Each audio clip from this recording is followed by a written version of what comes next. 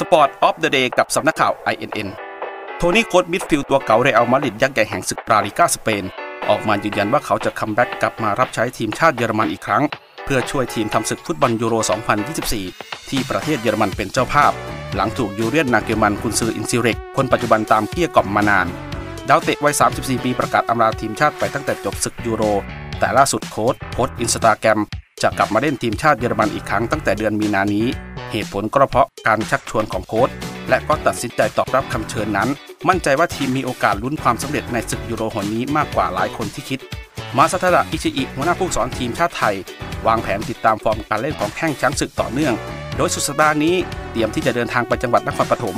กรุงเทพมหานคร และนครราชสีมา เพื่อชมเกมการแข่งขันฟุตบอลลีโวไทยลีก 1 และไทยลีก 2 สำหรับโปรแกรมต่อไปของทีมชาติไทย คือการแข่งขันฟุตบอลโลก 2026 รอบคัดเลือกโซนเอเชีย รอบที่ 2 กลุ่ม C ที่ 3 และ 4 ทีมชาติไทยจะบุกไปเยือนเกาหลีใต้ในวันพฤหัสบดีที่ 21 มีนาคมนี้ เวลา 18 นาฬิกาตามเวลาประเทศไทย จากนั้นจะกลับมาเล่นในแมตช์ที่ 4 ที่สนามราชมังคลากีฬาสถาน ในวันอังคารที่ 26 มีนาคมนี้ เวลา 19นาฬิกา30 นาทีตามเวลาประเทศไทยกอล์ฟฮอนด้า LPGA Thailand ครั้งที่ 17 เปิดฉากอย่างยอดเยี่ยม เมื่อวันที่ 22 กุมภาพันธ์ที่ผ่านมา ด้วยจำนวนแฟนกอล์ฟที่เข้าชมเกินคาด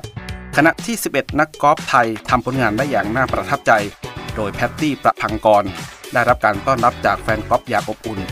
ซึ่งสัปดาห์ที่แล้วโชว์ฟอร์มได้อย่างสุดยอดคว้าแชมป์เลดี้ส์ยูโรเปียนทัวร์ที่ประเทศซาอุดิอาระเบีย และไม่ทำให้แฟนๆผิดหวัง ด้วยการออกสตาร์ทที่ 5 อันเดอร์ จากการทำ 6 เบอร์ดี้ 1 โบกี้ อยู่อันดับที่ 3 ร่วมตามหลังผู้นำ3สโตรก นอกเหนือจากความพอใจในผลการแข่งขันของตัวเองแล้ว แพตตี้ประพังกร ยังปลื้มกับจำนวนแฟนกอล์ฟที่ตามมาให้กำลังใจเธออีกด้วย และอีก 10 นักกอล์ฟไทยถึงขอบสนามที่จังหวัดชลบุรี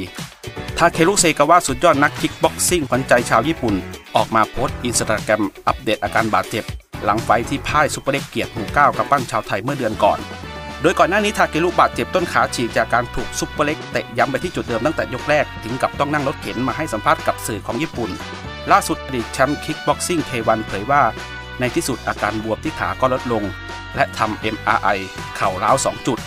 หลังจากจบยกที่ 1 ตนยกเข่าตัดลูกเตะของซุปเปอร์เล็ก ตนเองรู้สึกว่ามันเหมือนเข่าจะหัก บางคนบอกว่าทำไมไม่ยกเข่าบังการเตะ แต่คิดไปคิดมาเข่าหักแน่นอน และไม่สามารถยืนได้แน่นอนนี่คือจุดอ่อนของตนเอง มันผ่านมาแล้ว ดังนั้นจะพยายามก้าวเดินต่อไป